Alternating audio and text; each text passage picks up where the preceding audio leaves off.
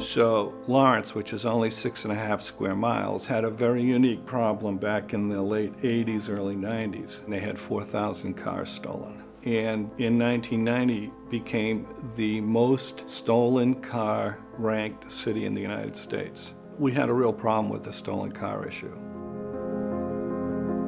I was put in charge of the auto theft unit to attack this stolen car problem. I had a visit from Pat Clancy. He donated tracking computers to our police department, which helped us out immensely and was in large part responsible for us being able to reduce the stolen car problem. So I've been using the LoJack systems since roughly 1990. If there is a better system, I haven't seen it and I haven't used it.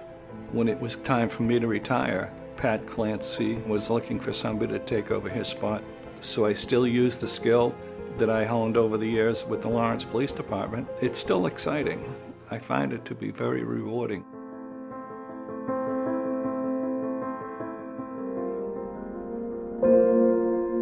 I'm like an old fire horse.